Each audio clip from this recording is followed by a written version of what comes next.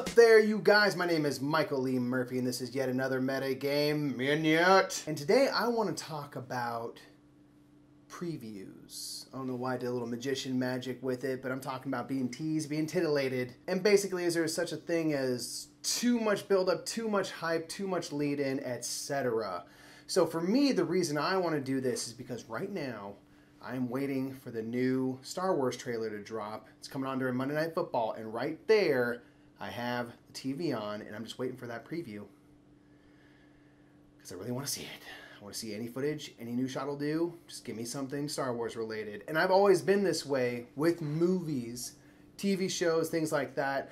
I'm an actor. Uh, you know, movies and everything have always been my passion, and I've always been very voracious in my reading any news about a new project, uh, something that an actor or an actress has been attached to, the first trailer, the first teaser, whatever it might be. I've taken in all of it.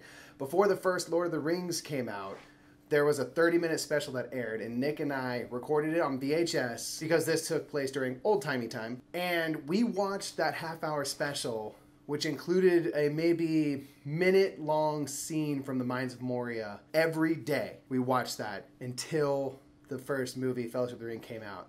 Every day. And it never got old. Never made me want to see the movie less. I've always been that way where I will watch and then rewatch and then rewatch and then reread information about movies and things uh, in in just in, in anticipation for something that I'm interested in, and it never really seems to get in the way of kind of my expectations of it or anything like that. Now, I'm assuming people do this with board games as well. Because I gotta remember, bring it back to board games, Mike. Get out of Star Wars. Get out of Lord of the Rings. Whew. Bring it back to board games, Mike. Get together. Do you take in board game news every day? Are you monitoring Board Game Geek?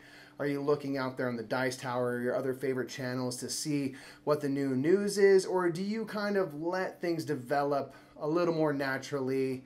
You maybe wait for something to come out and then start to look into it a little bit, maybe watch a preview. I'm just curious. Uh, it's something that with board games, I haven't gone that down deep yet. Nick, I think, is a little more that way. He's a little more on top of the news, and I kind of use him as my news source. Like, what's going on in the world, man? What, what should we be playing next? but I'm sure that there's people that really get interested in. Do you like to know just a little bit less about what's coming so that maybe you leave yourself more open for surprise, or do you want to know as much information as you can before you play something, and does that only then maybe heighten the experience for you? Let me know in the comments below.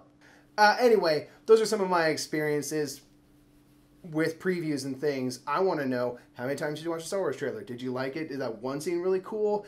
I still want to come on. Why? I'm trying to drag this out in hopes that it comes on the TV. Nothing yet. Anyway, get us up on social media and all the places below. Check out our podcast. This game is broken. The new episode drops tomorrow.